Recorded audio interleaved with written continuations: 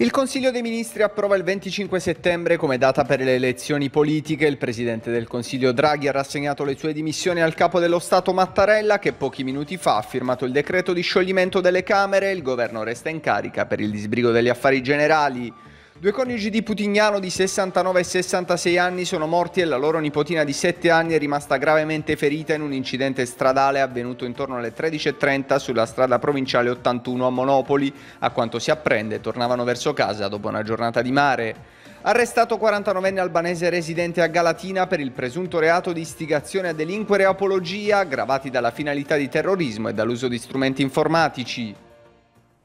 Ancora insieme per l'informazione in diretta di Antena Sud, come avete sentito nei titoli sembra essere il 25 settembre, la data buona per le elezioni politiche è stato approvato anche dal Consiglio dei Ministri dopo che questa mattina il eh, Presidente del Consiglio Draghi aveva rassegnato le sue dimissioni al Capo dello Stato Mattarella, Mattarella che qualche minuto fa ha firmato il decreto di scioglimento delle Camere. Il governo quindi resterà in carica solo per il disbrigo degli affari generali. Sentiamo. Ho firmato il decreto di scioglimento delle Camere affinché vengano indette nuove elezioni entro il termine di 70 giorni indicato dalla Costituzione. Lo scioglimento anticipato del Parlamento è sempre l'ultima scelta da compiere, particolarmente se, come in questo periodo, davanti alle Camere vi sono molti importanti adempimenti da portare a compimento nell'interesse del nostro Paese. L'assenza di prospettive per dar vita a una nuova maggioranza ha portato a questa scelta per il Capo dello Stato che ha elencato le priorità del Paese visto il delicato momento e richiamato la responsabilità ai partiti in vista delle elezioni che si terranno entro 70 giorni, il 25 di settembre. Scambio di accuse tra i partiti a poche ore dalle dimissioni di Draghi. C'è chi parla di suicidio politico e chi gioisce per l'imminente chiamata alle urne. Per il ministro degli esteri Di Maio il governo è caduto per colpa di chi strizza l'occhio a Putin. Questa legislatura arrivata al capolinea con la crisi che ha colpito il governo conta già le prime vittime nei partiti, soprattutto in Forza Italia che perde pezzi, prima Maria Stella Gelmini, poi Renato Brunetta, entrambi delusi da Silvio Berlusconi. Regna il caos in vista delle imminenti elezioni, le conseguenze per molti di non avere Draghi Premier si sentiranno a livello internazionale. A tutti quelli che dicono i politici sono tutti uguali rispondo no, noi abbiamo portato Draghi Conte, Salvini e Berlusconi l'hanno mandato a casa. C'è chi costruisce e chi distrugge. Alle elezioni ora tocca ai cittadini scegliere. È chiaro che noi saremo dalla parte di quelli che hanno a cuore l'Italia. Chi invece ha voluto lo sfacelo e il disastro si assuma le conseguenze e le responsabilità. La Lega fa sapere di essere già al lavoro per il futuro governo, così come Fratelli d'Italia che da tempo aveva chiesto un richiamo alle urne. Il Partito Democratico raccoglie i cocci di un campo largo, quello con i pentastellati, ormai ridotto in macerie. Non la manda a dire il leader IPF Di Maio. Prima si va a votare, meglio è. Non mi alleo con chi ha fatto cadere il governo. Ci sono tante persone di buona volontà che continueranno a portare avanti l'agenda riformatrice di Mario Draghi. Siamo di fronte all'ennesima l'ennesima crisi di governo di questo Paese che questa volta vede come protagoniste due persone in particolare, Giuseppe Conte e Matteo Salvini, che hanno deciso, dopo aver assicurato sostegno al governo Draghi e all'agenda Draghi, hanno deciso di voler eh, bloccare e colpire l'agenda riformatrice del governo Draghi rispetto ad un momento storico nel quale mai come in questo momento stiamo vivendo una situazione inedita economica, sociale, energetica. Il Consiglio dei Ministri era un verminaio di veti incrociati e di odi incrociati che non corrispondevano alle esigenze dell'Italia. Siamo eh, convinti che la campagna elettorale consegnerà agli italiani la possibilità di scegliere il loro futuro, scegliere il Presidente del Consiglio, scegliere la coalizione che deve governare l'Italia. Sulla caduta del governo Draghi si sono espressi anche il sindaco di Bari e il presidente Anci De Caro, anche il governatore regionale pugliese Emiliano. Ascoltiamo. Perché la politica, l'avrete capito, è una grande palude nella quale servono dei Rambo eh, che si acquattano per non farsi vedere dai coccodrilli.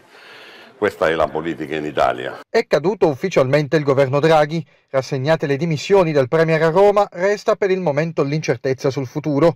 Coinvolti inevitabilmente sindaci e regioni che dovranno far fronte a diverse problematiche dai fondi PNRR sino ad energia e gas. Non si sono sottratti all'argomento Antonio De Caro, sindaco di Bari e presidente ANCI, ed il governatore regionale Michele Emiliano. Ieri purtroppo eh, l'hanno fatta gigantesca tutti quanti tutti quanti hanno fatto un pasticcio enorme e hanno messo nelle condizioni eh, il governo della Repubblica e ovviamente anche il Presidente Draghi di doversi dimettere. In un momento in cui, lo dico da Presidente della Regione, eh, ci sono troppe partite, c'erano troppe partite aperte per poter interrompere l'attività di governo. Quindi nella sostanza avrete capito tutti come l'hanno capito gli italiani, da destra a sinistra, eh, tutti hanno eh, fatto un atto da campagna elettorale ieri. Rispettiamo le scelte che hanno fatto le forze politiche come sindaci, rispettiamo le scelte che hanno fatto i gruppi parlamentari, ci rimettiamo alle decisioni del Presidente Mattarella, se si dovesse andare a, a votare a breve come sembra speriamo che ci sia un governo stabile indipendentemente dal colore politico del governo che possa interloquire con i sindaci, con i comuni che devono dare attuazione a quelle risorse eh, attraverso anche ulteriori semplificazioni delle fasi autorizzative, altrimenti non riusciremo a rispettare quell'impegno di spendere le risorse entro il 2026.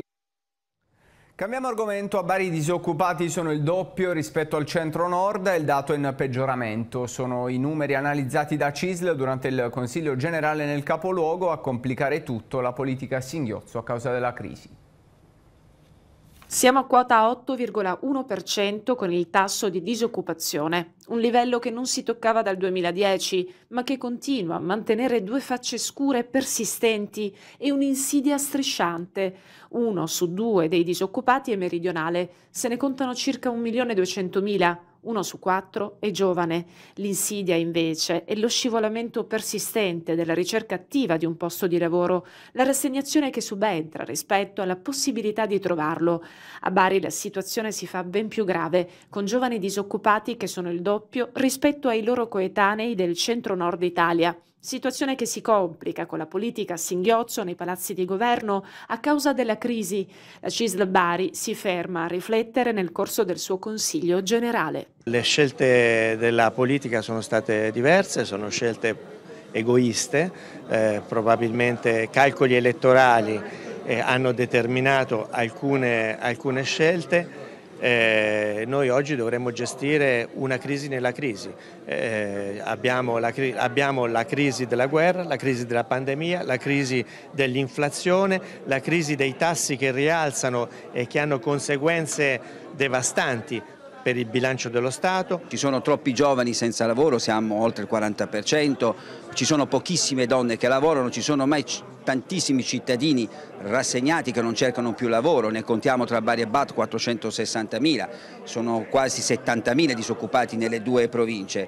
Noi dobbiamo guardare a queste persone, dobbiamo guardare con concretezza e quindi è necessario da un lato andare avanti col programma di investimenti del Piano Nazionale di Ripresa e Resilienza, Cambiamo ancora argomento partecipando ad uno dei quattro appuntamenti con autori illustri previsti in questi giorni presso la masseria Lireni di Bruno Vespa, l'ex magistrato Luca Palamara ha annunciato che a breve costituirà un'associazione dal titolo Oltre il sistema destinata a diventare un vero e proprio movimento politico.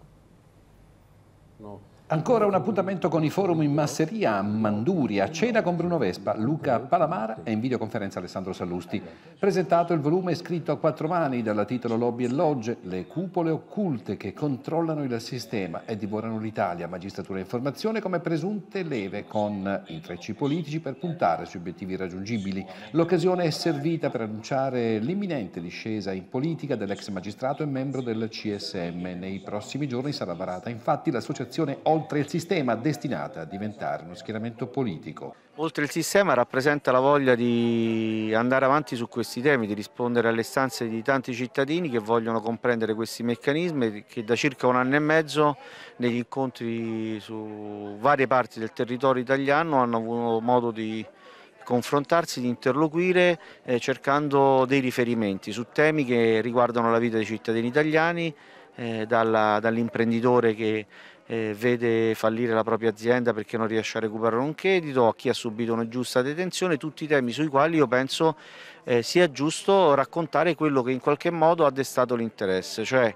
un racconto che serva per migliorare per eh, fare delle forti proposte riformatrici. Tornando al libro, queste le considerazioni di Palamara che sul palco della masseria Lireni è stato intervistato da Bruno Vespa. Ci sono ancora dei nodi da sciogliere, ci sono storie da raccontare, storie da raccontare per eh, migliorare quello che non ha funzionato nei rapporti della politica e magistratura e all'interno della magistratura. Questo per dare una voce che eh, squarci in qualche modo il velo di ipocrisia che spesso ha caratterizzato il racconto sul nostro mondo.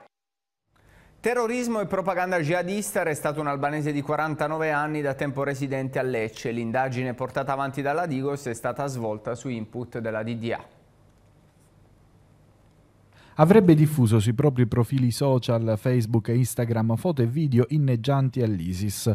I video, alcuni contenevano dei sermoni, venivano registrati in lingua araba ma con sottotitoli in inglese per raggiungere quante più persone possibili, soprattutto chi si avvicinava alla cultura islamica, e poi foto, commenti, post, storie contro lo Stato italiano e la religione cattolica. In alcuni casi avrebbe perfino mostrato la bandiera dello Stato islamico con l'accusa di istigazione per delinquere apologia aggravate dalle alle finalità di terrorismo e dall'uso di strumenti informatici, è stato arrestato Astrid Asani, 49enne albanese residente a Galatina. L'attività di indagine coordinata dal Servizio per il contrasto all'estremismo e terrorismo esterno dalla Direzione Centrale della Polizia di Prevenzione ha preso avvio nel 2018 dopo una segnalazione del comparto intelligence. L'albanese residente da tempo in Saletto e con un permesso di soggiorno di lunga durata avrebbe instaurato nel contempo rapporti con elementi di rilievo del terrorismo internazionale nazionale già emessi in indagini di settore condotte all'estero durante l'operazione che ha portato anche all'esecuzione di un'altra misura cautelare nei confronti di Giuseppe Antonica, 29enne galatinese, estraneo agli ambienti del radicalismo islamico per detenzione legale di arma da fuoco e reati inerenti agli stupefacenti, è stato sequestrato materiale informatico su cui venivano effettuati ulteriori approfondimenti investigativi. Nel caso del 29enne si è arrivati attraverso alcune intercettazioni, dialoghi con i 49enne in cui si parlava del possesso di una pistola e dello spaccio di marijuana e hashish. La Procura della Repubblica ha ottenuto dal GIP la custodia cautelare per i due, ora ai domiciliari con braccialetto elettronico. Si tratta di un'operazione che con un'eventuale condanna costituirà un unicum per il territorio leccese. Naturalmente le indagini andranno avanti, naturalmente l'interesse del momento era infrenare il soggetto individuato è ritenuto appunto insomma, responsabile delle contestazioni che la Procura della Repubblica di Lecce gli ha in questo momento fatto. Nel web abbiamo rilevato nell'ambito relazione, delle relazioni amicali dei soggetti di interesse che non sono presenti in questo territorio. Peraltro lui ha anche condiviso eh, numerosi sermoni attribuibili a eh, diciamo, imam eh, dal, da un profilo insomma, importante, eh, diciamo, mh, rilevati in attività illecite in altri paesi. E rappresenta un unicum questa attività di indagine nella misura in cui eh, nella provincia di Lecce non era stato mai effettuato eh, un arresto per reati eh, afferenti al terrorismo. E questo uh, è un elemento importante, figlio di un'attività realizzata bene, complessa, strutturata, si incentiva, si può uh, attraverso lo strumento del web arruolare, addestrare o comunque condizionare persone che sono, ripeto, collocate in ambiti eh, spazio-temporali spesso uh, distanti e questo è un successo da questo punto di vista perché l'attività di questo soggetto andava in questo senso fermata. Una collezione di centinaia di beni culturali costituita da reperti archeologici, statue, dipinti, beni ecclesiastici, archivistici e librari ritrovati a seguito della morte di un facoltoso collezionista del Barese è stata sequestrata dai finanzieri di Bitonto con i carabinieri del Nucleo Tutela Patrimonio Culturale di Bari. Si tratta di 350 reperti archeologici, ceramici in terracotta e in bronzo di produzione Appula risalenti al III e IV secolo a.C. Altri 80 reperti in vetro, metallo metallo e avorio provenienti dal Mediterraneo orientale risalenti al secondo millennio a.C. I militari hanno individuato i legittimi proprietari, tra i quali diversi privati per i dipinti, trafugati a Roma, Genova e Bologna, la Chiesa per i beni ecclesiastici e lo Stato per i reperti archeologici. Cambiamo argomento con il rinnovo del drappo della bandiera, il 36esimo storno di Gioia del Colle al suo nuovo comandante. Cerimonia di avvicendamento questa mattina tra il colonnello Vergallo e il collega Pomiato. Grazie infine a tutto il personale del 36esimo storno. Quello che abbiamo fatto lo abbiamo fatto e raggiunto grazie a voi. Vedete, questi momenti di cambio permettono di fermarsi e riflettere cosa che non facciamo tutti i giorni, di pensare a tutto quello che abbiamo fatto, avremmo voluto fare e siamo riusciti a realizzare. Un colonnello Antonio Vergallo, visibilmente commosso, ha salutato le donne e gli uomini del 36esimo stormo caccia di Gioia del Colle, lasciando il comando al collega Massimiliano Pomiato. Nelle scorse ore la cerimonia di avvicendamento alla presenza delle più alte cariche militari istituzionali.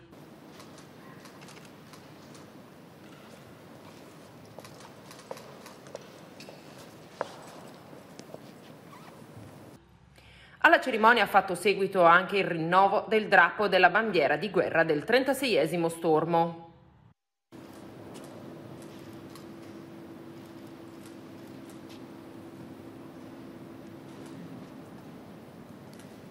Il colonnello Pomiato, nel prendere il comando del 36esimo stormo di Gioia del Colle, ha così ringraziato il suo predecessore ed espresso quella che sarà la mission del suo comando. È con profondo orgoglio che assumo il comando di questo quale contesto storico ci chiama numerosi impegni. Sono conscio che gli ultimi mesi abbiano formato un po' di acido lattico, ma sono convinto che continuerete a dimostrare il carattere, l'orgoglio e l'efficienza che vi ha contraddistinto negli anni.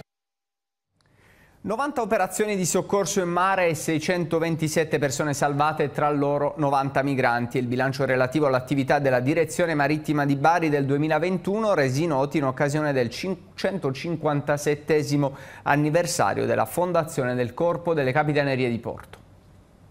157 anni di Capitaneria di Porto e Guardia Costiera, senza dimenticare anche l'importanza delle attività annuali del settore.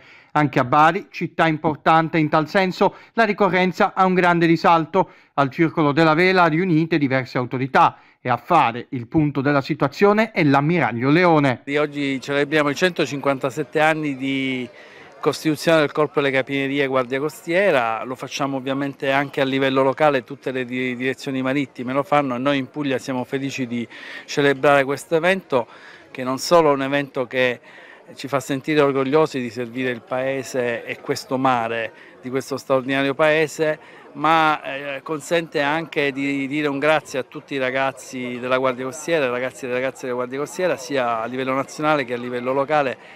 I mille uomini che ho l'onore e il privilegio di dirigere qui in Puglia danno tutto quello che possono per questo mare, per la sicurezza di questo mare, per dare eh, ecco, sensazioni di, di sicurezza e, e, e, di, e, di, rispetto anche verso il mare che ne ha tanto bisogno. Soddisfacente è anche il giudizio sul lavoro sin qui svolto. Quello che conta è la percezione che i cittadini siano contenti di quello che facciamo e il nostro target è il mare, la sua sicurezza, la sua tutela, la cura che dobbiamo avere verso il mare e ovviamente il cittadino che da noi si aspetta questo e non altro. Maggiori controlli e un, adeguamento delle zone da vincolare con il DASPO è quanto emerso dal Comitato per l'Ordine e la Sicurezza svoltosi presso la Prefettura di Brindisi dopo le recenti aggressioni compiute da baby gang ai danni di adolescenti.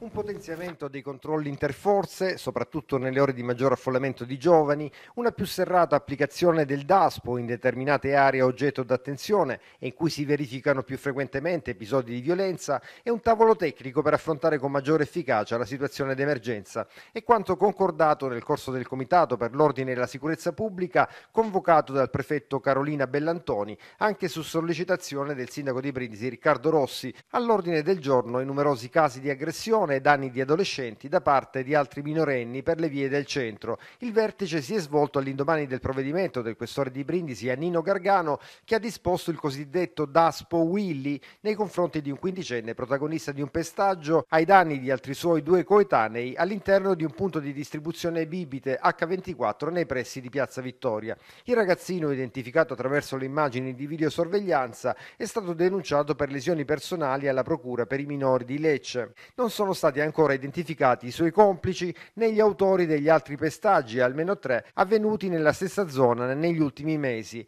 Una situazione molto preoccupante per le famiglie i cui figli adolescenti che passeggiano in centro nelle ore serali corrono il rischio di essere aggrediti proprio nell'area che dovrebbe essere più sicura.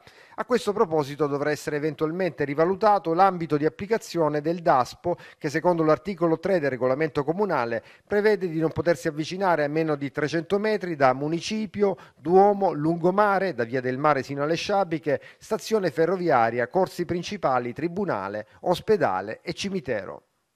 Estradizione per il salentino Antonio Amato, considerato uno dei 100 latitanti più pericolosi. Oggi l'atterraggio a Roma dopo la cattura del mese scorso in Spagna. Era considerato uno dei 100 latitanti più pericolosi. Dopo la condanna nel maggio scorso, l'arresto il mese dopo, Vincenzo Amato, il salentino fermato sulle coste dell'Andalusia nel mese di giugno, ricercato dal 2016 e atterrato presso l'aeroporto di Fiumicino con un volo proveniente da Madrid, scortato dal personale del Servizio per la cooperazione internazionale di polizia Interpol. Ad attenderlo nella capitale, oltre a questi ultimi, vi erano anche gli agenti della Direzione Centrale Anticrimine e della squadra mobile di Lecce. Al salentino è stato notificato un ordine di esecuzione esecuzione per la carcerazione emesso dalla Procura della Repubblica presso la Corte d'Appello di Lecce per una condanna a 19 anni di reclusione. L'arresto di Amato, originario di Scorrano, è giunto al termine di una complessa attività di indagine coordinata dalla Direzione Distrettuale Antimafia Leccese e svolta in collaborazione con le polizie spagnole e gli investigatori Interpol. Inizialmente scappato in Grecia, il latitante si è rifugiato alcuni mesi dopo nella regione a sud della Spagna, dove è stato rintracciato in casa di una donna con la quale conviveva. Tramite continui appostamenti e pedinamenti il mese scorso è scattato il blitz e il 45enne è stato fermato mentre faceva rientro a casa. Per lui grava ora anche una misura cautelare in carcere che lo vede indagato perché è ritenuto nell'ambito dell'indagine svolta nel mese di maggio dalla squadra mobile di Milano e coordinata dalla DDA del capoluogo lombardo responsabile di un traffico internazionale di cocaina. Al termine delle procedure di estradizione Amato è stato accompagnato presso il carcere di Viterbo dove nelle prossime ore sarà ascoltato dai magistrati. Ci sono degli aggiornamenti relativi all'omicidio del 17enne Francesco D'Augelli avvenuto a San Severo negli scorsi giorni. Il sedicenne presunto assassino chiamò il fratello della vittima per dirgli che lo aveva accoltellato mostrando la mano insanguinata. Nuovi particolari emergono a seguito dell'interrogatorio del sedicenne reo confesso dell'omicidio di Francesco Pio D'Augelli avvenuto lo scorso 18 luglio in via Lucera a San Severo. Vieni a prenderti tuo fratello, l'ho appena accoltellato, portalo in ospedale. È il contenuto della videochiamata che il giovane ha fatto al fratello della vittima subito dopo aver colpito il diciassettenne con un fendente mortale al fianco sinistro, un passaggio che l'indagato ha ribadito durante l'interrogatorio di convalida del fermo tenutosi davanti al GIP del Tribunale per i minorenni di Bari. Nella circostanza il sedicenne ha sostanzialmente confermato la confessione resa al PM martedì pomeriggio quando si è costituito in questura a Foggia, aggiungendo il particolare di questa videochiamata in cui avrebbe inquadrato la propria mano insanguinata. Il movente dell'omicidio sembra essere la gelosia della vittima per alcuni messaggi che la fidanzatina si era scambiata mesi fa proprio con il sedicenne, il quale ha affermato che tra lui e la fidanzatina di Francesco c'era stato solo uno scambio di messaggi via social e di non avere mai pensato di intraprendere una relazione con lei. Al termine dell'interrogatorio il PM ha chiesto che il sedicenne rimanga in carcere mentre i difensori dell'indagato hanno chiesto l'esclusione dei futili motivi e la riqualificazione dell'accusa in omicidio preterintenzionale anziché quella attuale di omicidio volontario. Il GIP si è riservato di decidere nelle prossime ore e intanto si attendono i risultati dell'autopsia sul corpo del ragazzo. Risultati che sono giunti proprio qualche minuto fa, eh, appunto il giovane è stato raggiunto da una sola coltellata che ha reciso la vena aorta, sarebbe bastata una distanza di appena un centimetro, il ragazzo si sarebbe salvato. Altra tragedia questo pomeriggio, nel primo pomeriggio attorno alle 14 sulla strada provinciale 81 che collega Albero Bello alla Selva di Fasano in territorio di Monopoli. Due coniugi di Putignano di 69 e 66 anni sono morti e la loro nipotina di 7 anni è rimasta gravemente ferita. Uh, a quanto si apprende il nonno che era alla guida di ritorno dal mare avrebbe perso il controllo del mezzo, una Opel Agila, forse a causa di un malore improvviso, finendo fuori strada e schiantandosi contro un muretto a secco. La moglie sarebbe morta sul colpo mentre il marito è deceduto in ospedale a Putignano. La bambina si trova attualmente ricoverata in rianimazione al Policlinico di Bari in gravi condizioni e in coma farmacologico a causa delle numerose fratture e lesioni. I rilievi per ricostruire la dinamica dell'incidente sono affidati ai carabinieri che al momento non hanno hanno rilevato segni che facciano ipotizzare la presenza di altri mezzi coinvolti nell'incidente. Sul posto sono intervenuti anche i vigili del fuoco di Putignano per estrarre i, colpi, i corpi dalle lamiere e il personale sanitario del 118 per soccorrere i feriti. Ancora una tragedia, questa volta in ospedale a Manduria, un medico è morto di infarto durante una visita, era in servizio al reparto di medicina ed è morto appunto dopo essere stato colto da un infarto mentre stava visitando un paziente. Sono risultati inutili i tentativi per rianimarlo da parte del personale sanitario presente, il medico lascia la moglie e tre figli. È intervenuto il capogruppo regionale di Fratelli d'Italia Ignazio Zullo. C'è un'oggettiva carenza di medici ma altresì oggettiva la carenza di modelli organizzativi adeguati in questa sanità di Emiliano. È sconcertante l'ipotesi avanzata secondo la quale la morte del collega medico possa essere collegata allo stress correlato al lavoro. Sconcertante sì, ma resta un'ipotesi plausibile se è vero che il collega era al lavoro da 24 ore. Cambiamo argomento, si è svolta stamane a Manfredonia la conferenza stampa di presentazione del servizio sperimentale di trasporto pubblico marittimo Manfredonia Isole Tremiti, finanziato dalla Regione Puglia e di cui è soggetto attuatore la provincia di Foggia. Finalmente si parte per le Isole Tremiti da Manfredonia. Sì, è un servizio che abbiamo auspicato e spinto con forza eh, un grande ritorno eh, questo collegamento Manfredonia-Tremiti, eh, sarà di grande aiuto alla comunità locale di Capitanata e di Tremiti eh, come spinta per le attività turistiche e supporto per questo servizio importante. Presentato presso il molo ponente del porto commerciale di Manfredonia il servizio sperimentale di trasporto pubblico marittimo Manfredonia Isole Tremiti, finanziato dalla Regione Puglia e di cui è soggetto attuatore la provincia di Foggia. All'incontro hanno preso parte tra gli altri il vicepresidente della Regione Puglia Raffaele Piemontese, il presidente della provincia di Foggia Nicola Gatta, i sindaci di Manfredonia e delle Isole Tremiti Gianni Rotice e Giuseppe Calabrese ed i rappresentanti del raggruppamento di imprese aggiudicatario del servizio Gargano Metro Marine. Un, strumento, un grande strumento il collegamento via mare con le Tremiti, eh, unisce due realtà, le Tremiti e Manfredonia, è un'offerta in più per i turisti, eh, si riesce anche ad apprezzare durante la navigazione quella che è la costa e soprattutto possiamo dire che questo territorio inizia a fare quelle sinergie giuste guardando il mare e partendo dal mare che possono servire in futuro. Io sono convinto che l'idea di un territorio unico, mettendo anche altre realtà, Mattinata, Vieste, Peschici, può contribuire ad avere sempre un'offerta più importante per valorizzare queste aree. Si ricongiunge un cordone umbilicale che ci ha sempre uniti eh, le isole Tremiti a questa città che è stata sempre il nostro punto di riferimento, quindi è giusto che si riprenda un colloquio che si era lasciato un po' di tempo fa in modo serio e fattivo, visto anche eh, che oggi si riesce ad avere un colloquio anche con una società di navigazione abbastanza seria in materia, quindi vediamo che succede. Il telegiornale si ferma un attimo, ci rivediamo dopo la pubblicità.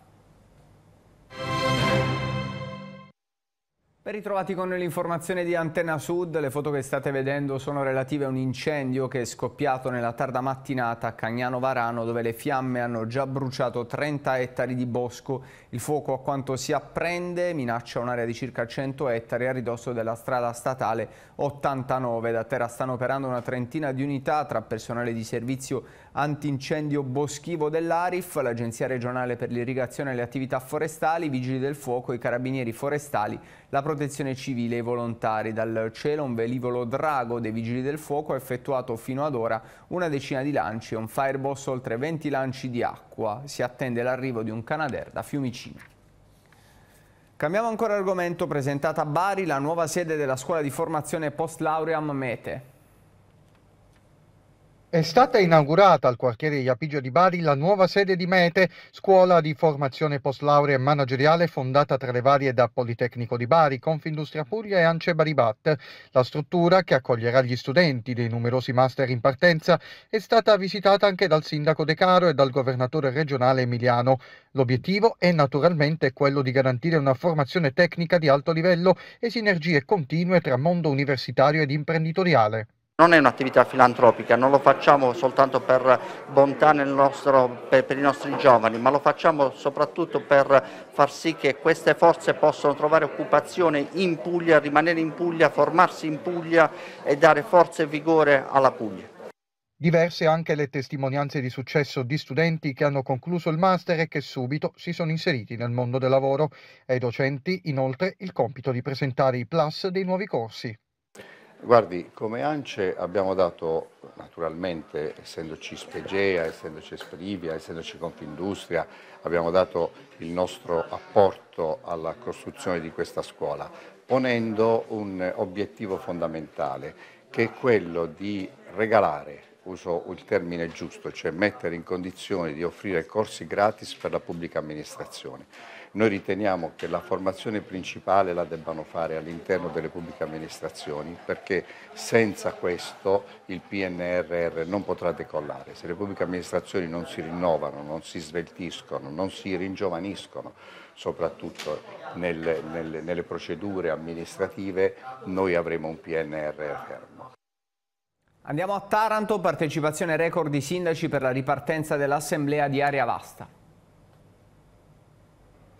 Ben 24 sindaci su un totale di 29 hanno preso parte all'assemblea di Area Vasta tenutasi nell'aula consigliare di Palazzo di Città a Taranto. Si tratta di una partecipazione record per la ripartenza di questo organismo istituzionale che presiede a progetti ed interventi di interesse condiviso e diffuso tra le municipalità della provincia. Abbiamo preso atto dell'insediamento dei nuovi sindaci eletti a giugno, ha spiegato il sindaco della città Bimare Rinaldo Melucci, ma soprattutto abbiamo ripreso le attività interrotte interrotte ormai diversi mesi fa. Sul tavolo dunque oltre a questioni di carattere procedurale anche il Just Transition Fund, risorse per le quali l'ente ha già manifestato interesse attraverso progetti definiti. Ho invitato i colleghi inoltre, sottolinea Melucci, a valutare la possibilità di lavorare insieme alla riperimetrazione dell'area SIN che coinvolge anche altri comuni della provincia.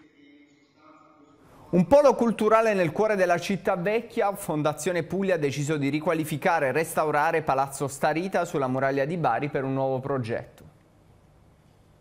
Un polo culturale con museo e un caffè letterario, oltre agli uffici dell'impresa strumentale Puglia Cultura, è territorio di Fondazione Puglia. In meno di due anni, con gli interventi di riqualificazione e restauro architettonico, Palazzo Starita avrà una nuova vita. Fondazione Puglia, dopo l'acquisto nel 2016, ha deciso di realizzare un progetto ben preciso all'interno dell'immobile nel cuore di Bari, da sempre celebre per la sua meridiana sulla facciata. Inizia così la nuova fase storica per Palazzo Starita, da sempre considerato considerato uno dei più importanti beni architettonici della città di Bari, con una posizione unica che affaccia contemporaneamente su Via Venezia, Piazza Mercantile e Piazza del Ferrarese, completando architettonicamente lo storico Palazzo del Sedile. Era un immobile privato e quindi Fondazione Puglia l'ha acquistato per aprirlo a tutti i cittadini. Poi lo racconterò a tutti i cittadini baresi e ci auguriamo anche che continui il flusso turistico corposo che oggi abbiamo. 18 mesi, 18 18-19 mesi e completeremo. Iniziamo da subito, stiamo già eh, attrezzando la cantierizzazione con il montaggio della gru, dei ponteggi e quindi siamo operativi da subitissimo, quindi accelereremo al massimo per ridare alla città questo palazzo splendido. Eh, restituire alla comunità un, altro luogo che possa dialogare con i musei esistenti alle spalle del Palazzo del Sedile che fu il primo teatro della città, prima ancora che esistesse il Piccini, il Petruzzelli e poi ancora il Margherita e quindi quindi in questo miglio degli spazi culturali più che dei teatri sempre più fiorente noi non possiamo che eh, offrire la massima collaborazione nel nome dell'assessorato alla cultura.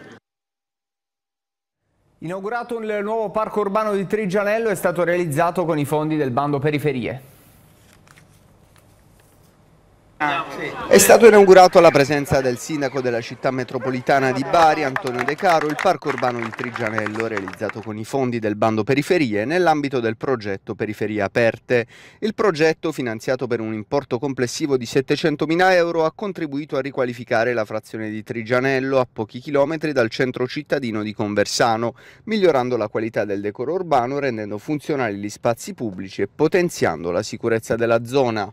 Per questi interventi abbiamo vinto un bando, un bando nazionale, siamo arrivati al primo posto come area metropolitana di Bari e siamo riusciti a finanziare tanti interventi per realizzare eh, spazi per la socializzazione come questo, spazi per tornare a fare comunità, parchi giochi, area verde, eh, sono dei luoghi dove le persone possono stare insieme. Trigianello per noi è una frazione a cui siamo particolarmente legati, per cui all'epoca l'abbiamo candidata eh, con, eh, al bando delle periferie insieme alla città nel progetto complessivo voluto dalla città metropolitana di Bari che tra l'altro si è classificato al primo posto in Italia per cui siamo orgogliosi di essere stati, aver contribuito fattivamente al, al successo di quel progetto.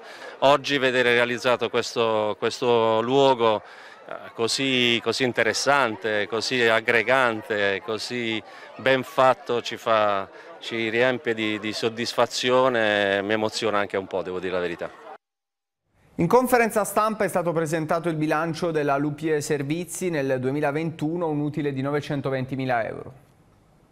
Presidente, tutti gli obiettivi raggiunti, in barba anche alle critiche degli scorsi anni, ecco, la Lupie Servizi mira a diventare leader come società partecipata a livello regionale. Devo dire che le critiche servono ovviamente per crescere, se sono critiche costruttive noi le accettiamo, io accetto di tutto, quindi poi rispondo anche, nel senso devo rispondere con i risultati. I risultati sono quelli che per tre anni questa società è riuscita a mantenere un trend elevato. Oggi siamo a circa 950 mila euro di utili, più ovviamente tutti i debiti che abbiamo pagato, che sono circa 700-700 mila euro. Vuol dire che siamo sulla buona strada. Continua quindi il percorso di fuoriuscita della società partecipata al 100% dal Comune di Lecce dalle acque tempestose della crisi aziendale che nel 2018 la portò portò a un passo dal fallimento, evitato solo grazie all'attivazione della procedura concordataria. Lupi Servizi ha avuto la forza di rafforzarsi e consolidare le proprie competenze e referenze, senza la necessità di grandi investimenti, ma puntando, secondo il Presidente, sulle risorse umane disponibili. Un positivo andamento della gestione 2021 conferma l'efficacia dell'azione amministrativa, confermano proprio in conferenza stampa il recupero recupero di adeguati livelli di produttività testimoniati dall'andamento dei risultati di esercizio degli ultimi anni. Perché questo succede? Dal primo giorno l'ho detto, non perché io conosca le mie capacità, ma perché ero convinto che la Lupia avesse all'interno grandi professionalità. Bisognava soltanto riorganizzare il sistema, il servizio, far capire che c'era la volontà di poter crescere. Siamo 214 dipendenti che lavorano su tutti i servizi, noi riusciamo a coprire tutti i servizi, non solo quello che vedete in città, ma anche quello che non vedete all'interno degli uffici. E questo mi preme sottolinearlo. Sono 15 servizi sui quali noi svolgiamo quotidianamente la nostra giornata, ma la cosa più bella è che ormai riusciamo ad horas immediatamente a intervenire su qualsiasi richiesta dell'amministrazione comunale. Domenica torna il Palio di Taranto con la gara alle 19 a seguire una serata di gala con musica e moda diretta su Antenna Sud. Siamo alla seconda tornata del Palio di Taranto, il torneo dei Rioni sui Gozzi a due remi. Appuntamento domenica 24 luglio si percorrerà tutto il periplo dell'isola antica con arrivo nel canale navigabile. Una competizione sportiva ma anche uno spettacolo che richiama da sempre i tarantini e turisti al quale si potrà assistere dagli spalti naturali di Corso Due Mari ma anche in diretta televisiva sul canale 14 di Antenna Sud. Otto equipaggi si sono aggiudicati la, la, la, guida, la griglia di partenza, partiremo alle 19 19, 19.30 dovrebbe finire la gara e quindi decretare i vincitori che sono in lista per eh, la regata del, dell'8 maggio sempre di, di, questo anno. La premiazione quest'anno sul canale navigabile proprio con una festa, l'abbiamo chiamata Festa del Mare, eh, dove vedremo anche una, una, bella sfilata di moda accompagnata da musiche dal vivo. Questo uh, connubio tra la Marina Militare, il Palio di Taranto, le attività marinare la città di Taranto è sempre più stretto, sempre più connesso come abbiamo visto con Sail GP, come abbiamo visto con il campionato italiano di Aquatron. Quindi il castello è un po' sempre di più l'agorà di questa città e noi siamo orgogliosi di mantenerlo, di mantenerlo e di presentarlo ai tarantini e anche ai tanti turisti che arrivano anche con stranieri, che arrivano con le navi da crociera. C'è l'obbligo, non c'è il piacere di ringraziare Francesco Simonetti per essere stato uno dei pionieri della promozione della, dello sport proprio sul mare. Eh, stiamo programmando una serie di eventi e soprattutto un cartellone per arrivare a fare proprio una festa del mare, una settimana dedicata a tutti gli sport di mare eh, per l'anno prossimo. Questa edizione del telegiornale termina qui, a tra poco per lo sport.